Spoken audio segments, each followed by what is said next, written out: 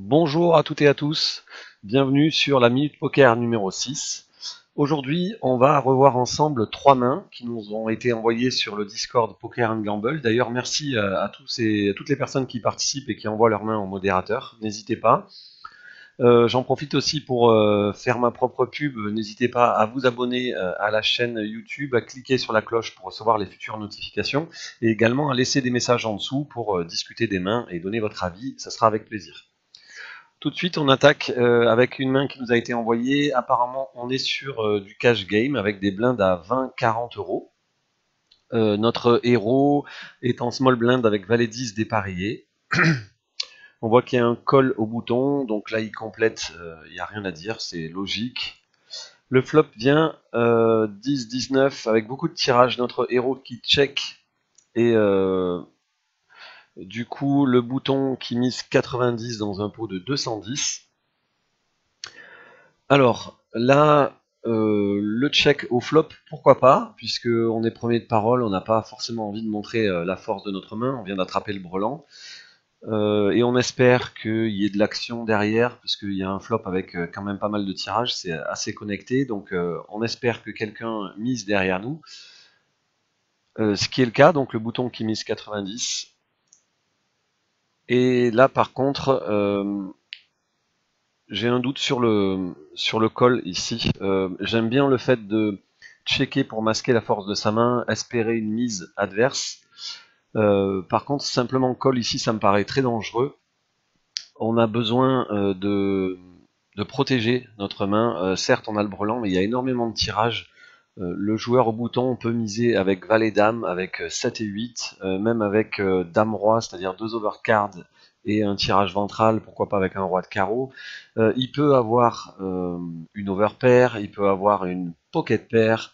Euh, il y, a une tonne de tirages, donc euh, là, je pense que le bon move, euh, ce serait de value sur pas mal de mains. Pourquoi pas une overpair, pourquoi pas un 9, un 9, As 9, pourquoi pas un 10 avec un kicker moins bon. Et donc value sur ces mains-là et protégé aussi sur, sur d'autres mains. On n'a pas envie qu'il ait deux carreaux et de lui laisser une carte quasi gratuite, puisque là on colle simplement, on lui demande pas de l'argent en plus. Donc je pense que le bon move aurait été, ici de, relancer, de check raise.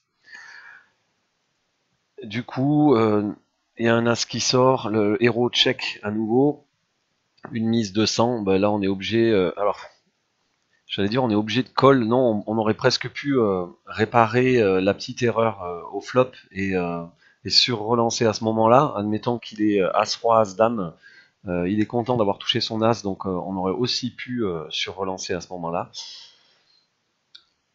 Et il s'avère que le joueur au bouton mise 250, c'est-à-dire quasiment tout son stack, il lui reste 10 euros.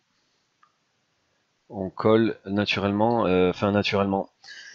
Il y a pas mal de tirages qui sont rentrés, tous les carreaux, les valets dames, etc. Et bon, il s'avère qu'il avait paire donc il a un full euh, supérieur. Alors, comme on dit souvent, peu importe le résultat final, euh, il faut voir euh, cette main-là avec 100 mains différentes possibles chez notre adversaire. Là, c'est mal tombé, mais je pense que le bon move aurait été de check raise au flop pour justement bah, faire payer une overpair, pour faire payer tous les tirages à carreau, faire payer tous les tirages quinte, etc. Donc là, on est mal tombé parce qu'il joue peu d'outs finalement et il touche, mais euh, voilà, ça méritait de le faire payer euh, bien plus cher. Main suivante, euh, envoyée par Starbuck. Alors je crois qu'on avait discuté de cette main-là sur le Discord. Et ben en fait tout de suite je suis pas d'accord avec l'open à 4x UTG avec Roi Valet off. on parle souvent des tableaux, etc. que vous pourrez trouver sur internet, les, tableaux d'open UTG ou dans d'autres positions. Et cette main-là, cette main-là n'en fait pas partie. Euh, euh, ici, on va pouvoir open à partir de roi-dame suité. Euh, certains vont même jeter roi-dame dépareillé, donc qui plus est roi-valet dépareillé, on va le jeter encore plus facilement.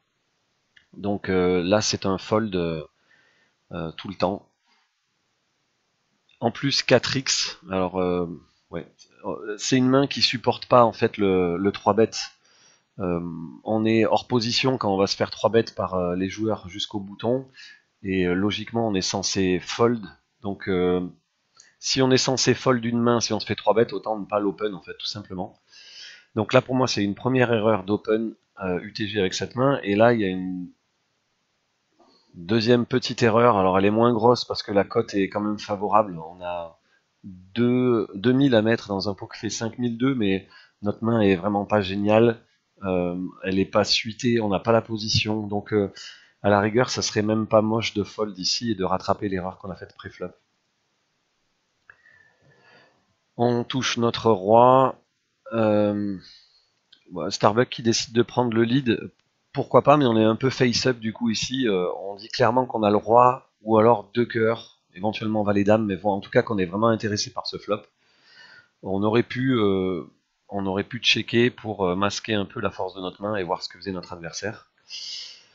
L'adversaire qui colle simplement, cette dame qui nous ouvre un tirage quinte des deux bouts, Starbuck qui décide de checker, le joueur ici qui check back cette dame qui a priori ne change pas grand chose. Euh, Starbucks qui décide de value. Pourquoi pas? On pourrait être payé par un 10, on pourrait être payé par euh, un roi moins bon, euh, et du coup le valet pourrait rentrer en ligne de jeu. Et le joueur qui part à tapis. Alors, Là, ça paraît être un, call, déjà parce que la cote est intéressante, il n'y a pas énormément à mettre dans un pot qui fait 26 000, on a 7 000 à mettre, donc on n'a pas besoin d'être bon très souvent. Et en plus, euh, voilà, la doublante de la dame fait pas forcément très peur. Euh, il peut avoir loupé euh, les cœurs, il peut essayer de faire un bluff. Hein, ouais, ça représente pas grand chose ici. Le, call est bon, donc voilà, ça, il n'y a pas de souci, c'est bien joué.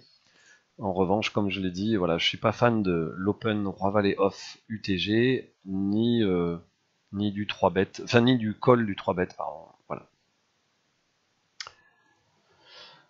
Une dernière main, toujours Starbuck. Euh, il y aura d'autres joueurs, j'ai une liste de plusieurs mains, et là je l'ai faite euh, dans l'ordre, mais il y aura d'autres joueurs pour les prochaines fois.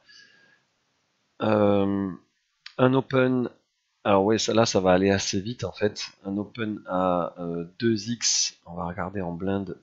Non, pardon, c'est celui-là. Un open à 2x UTG d'un joueur qui a 20 BB deep. Un joueur qui relance sa tapis avec 23,6 blindes. Et euh, nous, on a 31 blindes. Un Starbuck qui décide de euh, partir à tapis euh, alors, là, c'est euh, aussi discutable, c'est euh, beaucoup moins évident que la main précédente. c'est pas affreux de call, mais ça serait pas non plus affreux de fold. En fait, ici, c'est un peu la main pivot. autant avec As-Roi suité, on est sûr d'aller à tapis, aucun problème. Autant avec As-Valet ou As-10 suité ou dépareillé, on sait que c'est normalement un fold facile. Avec As-Dame suité, ça devient un peu plus discutable. Donc voilà, le col est pas moche. Euh, le fold aurait été bon aussi pour plusieurs raisons. Euh, parce que vous avez ici un open UTG, euh, donc ça peut représenter de la force. Vous avez quelqu'un qui, malgré qu'il ait un open UTG, il part à tapis 23,6 blindes, il joue son tournoi parce qu'il y a trois joueurs qui parlent derrière, donc il peut représenter également de la force. Et quand on décide de call ici, il y a encore deux joueurs qui parlent derrière nous, euh, le joueur qui a relancé UTG et qui peut avoir une vraie main, il peut avoir As-Roi, il peut avoir euh, paire de valet et plus, et donc dans ce cas-là, il va tout le temps call et on va se retrouver dans un pot à 3 joueurs avec As-Dame, ça sera pas forcément le top. Et il faut aussi ne pas oublier le joueur qui est euh, en big blind ici et qui peut se réveiller avec paire de 10 et plus, As-Roi ou autre. Donc voilà, le call avec deux joueurs qui parlent derrière et un joueur qui monte de la force UTG un joueur qui part à tapis malgré la force euh, que représente l'ouverture UTG, le, le, fold aurait euh, été bon également. Bon après on va dérouler la main, euh, c'est toujours pareil, peu importe le résultat final, voilà en, tout cas le, raisonnement. Il s'avère que UTG a fold, on se retrouve face à As-10, donc on est largement favori. Et après, le hasard fait qu'il touche son 10 et qu'on perd le coup. Donc là, malchance. Mais sur une situation comme ça, avec 100 mains dans le, même schéma, euh, je suis pas sûr qu'on gagne euh, très souvent le coup en fait. Des fois il y aura une grosse main ici, Des fois, il y aura une grosse main UTG. De temps en temps, il y aura une grosse main en big blind. Voilà, donc c'est discutable. Euh, merci d'avoir suivi euh, cette minute poker numéro 6. N'hésitez pas à passer sur le Discord Poker and Gamble. Donnez vos mains au modérateur. Et comme je l'ai dit, abonnez-vous à la chaîne YouTube. Laissez des commentaires. ça me fait plaisir, plaisir de discuter avec vous quand ils sont constructifs et intéressants. Et je vous dis à très bientôt. Bye bye